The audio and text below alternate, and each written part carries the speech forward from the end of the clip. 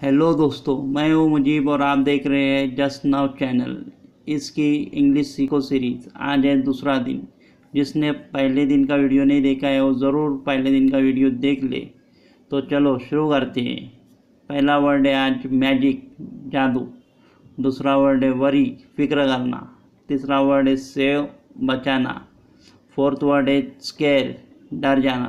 Fifth word है gate कोई चीज़ मिल जाना।